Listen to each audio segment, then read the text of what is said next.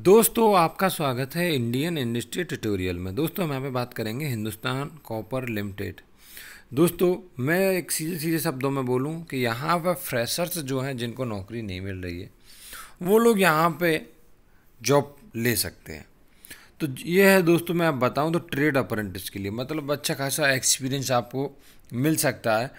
ठीक है, और आगे चल के अगर एक आपको यहाँ पे एक्सपीरियंस मिल जाता है तो आपको जॉब नेक्स्ट कोई ना कोई पकड़ ही लोगे आराम से, कोई इजीली क्योंकि एक्स मैक्सिमम जितनी भी प्राइवेट कंपनीज़ हैं या गवर्नमेंट है मैक्सिमम एक्सपीरियंस मांगती है, ठीक है, और उसे प्रेफरेंस ज़्यादा देती है। तो दोस्तों स्टार्ट करते हैं। तो दोस्तों, यहाँ पे इलेक्ट्रीशियन के लिए वैकेंसी है बीस। यहाँ पे दोस्तों tenth class under ten plus two और उसकी इक्विवेलेंट कोई क्वालिफिकेशन हो तो भी चलेगा। और यहाँ पर टेक्निकल क्वालिफिकेशन आई चाहिए, जो इलेक्ट्रीशियन ट्रेड से होना चाहिए।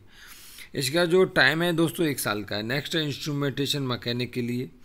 तो यहाँ पर भी सेम है क्वालिफिकेशन लेकिन यहाँ पर जो टेक्निकल क्वालिफिकेशन है, वो इंस्ट्रूमेंट से होनी चाहिए।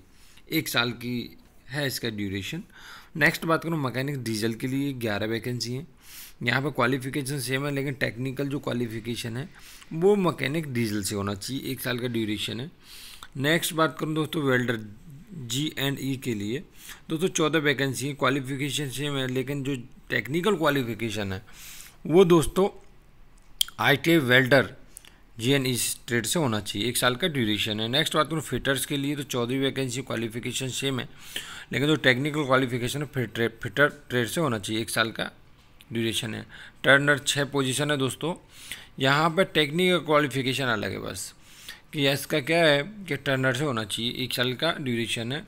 फिर दोस्तों रेफ्रिजरेशन के लिए वैकेंसी है, जो एसी मैकेनिक के लिए। दोस्तों, यहाँ पर दो वैकेंसी है। यहाँ पर टेक्निकल क्वालिफिकेशन बस जो है रेफ्रिजरेशन और एसी के लिए है।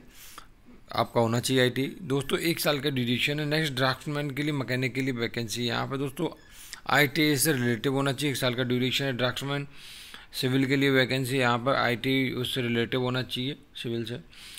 सर्वायर के लिए वैकेंसी दोस्तों यहाँ पर पास होना चाहिए आई और रिलेटिव ट्रेड से। कारपेंटर के लिए वैकेंसी दोस्तों तीन। यहाँ पे आईटीआई कारपेंटर ट्रेड से होना चाहिए, एक प्लम्बर के लिए वैकेंसी है। जहाँ पे दोस्तों आईटीआई प्लम्बर से मांगा हुआ एक साल का ड्यूरेशन है। नेक्स्ट बात करूँ बिल्डिंग कंस्ट्रक्शन के लिए वैकेंसी यहाँ पर तो यहाँ पर आई टी उससे रिलेटिव होना चाहिए, एक साल का ड्यूरेशन है। टेलीकॉम मैकेनिक के लिए वैकेंसी है, जो जो बाकी क्वालिफिकेशन सेम है। यहाँ पर टेक्निकल क्वालिफिकेशन जो है दोस्तों टेलीकॉम मैकेनिक से मांगी, एक साल का ड्यूरेशन है। नेक्स्ट दोस्तों हॉर्टिकल्चर असिस्टेंट के लिए। यहाँ पर दोस्तों, केवल टेन और अंडर टेन प्लस टू और उसके बैलेंस क्वालिफिकेशन है, चलेगा, दो पोजीशन है। टेक्निकल क्वालिफिकेशन कुछ मांगा नहीं है, दो साल का ड्यूरेशन है। नेक्स्ट बात करूँ दोस्तों तो यहाँ पे वैकेंसी है शॉर्ट फायर तो ब्लास्टर माइंस के लिए वैकेंसी दोस्तों, यहाँ पर ten plus two under ten plus तो यहाँ पर दोस्तों इक्विवेलेंट क्वालिफिकेशन चलेगा। यहाँ पर टेक्निकल कुछ नहीं मांगा, दो ईयर का ड्यूरेशन है। नेक्स्ट है दोस्तों मेट माइंस के लिए वैकेंसी अठारह वैकेंसी है। टेन यहाँ पर दोस्तों पास टेन प्लस टू का एग्जामिनेशन अंडर तो दोस्तों, यहाँ पर इक्विवेलेंट क्वालिफिकेशन चलेगा और यहाँ पर थ्री साल का ड्यूरेशन है। तो दोस्तों, इसे जो आपका यहाँ पर भरना है तो आपके पास क्या है कि 2000 आपने अगर 2016 से पहले पहले आईटीआई किया है तो आपको क्या करना पड़ेगा? अल्फनामा पे एक स्टेप लगा के और यहाँ पर सबमिट करना होगा कि भाई मैंने कहीं पे काम नहीं किया तो आप यहाँ पे भर सकते हो। यहाँ पे जो मैक्सिमम एज लिमिट है वो 25 ईयर है, जो इकतीस एक दो हज़ार बीस के हिसाब से काउंट की जाएगी। और S C S T category को पाँच ईयर का प्लस करके यहाँ पे भर सकते हैं। ओ बी सी में तो थ्री ईयर प्लस करके भर सकते हैं। अगर आप पी डब्ल्यू डी में हो तो दस ईयर प्लस करके इसे फॉर्म को आप भर सकते हैं। ठीक है? और सिलेक्शन प्रोसेस क्या है भाई? तो भाई आपका जो है मल्ट यहाँ पर रिटर्न टेस्ट होगा और वो भी क्या डिपेंड करेगा कि आप कितने फॉर्म भरे जाते हैं, ठीक है? उस पर डिपेंड करेगा।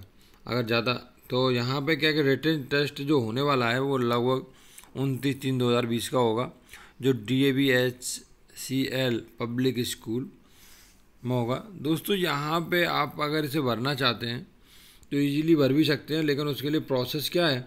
प्रोसेस आपका रजिस्ट्रेशन होना चाहिए आर डी ए टी में, ठीक है?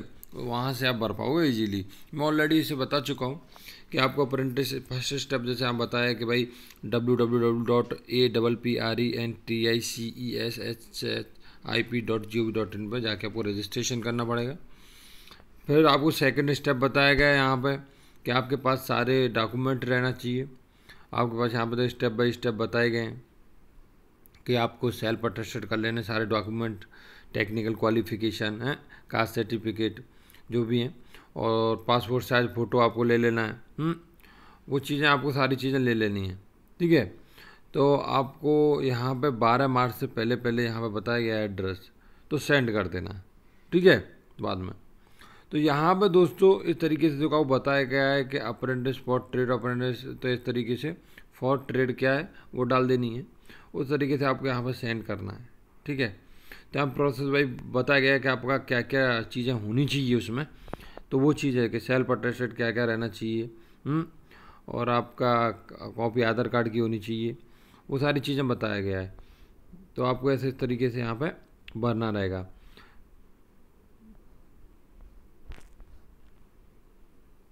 तो यहाँ पर दोस्तों, इस नोटिफिकेशन को मैं आपको बता देता हूँ इसे, क्योंकि आपको ही पढ़ना पड़ेगा पूरा नोटिफिकेशन लास्ट डेट है दोस्तों, बारह तीन दो हज़ार बीस, इक्कीस दो दो हज़ार बीस से स्टार्ट हो चुका है।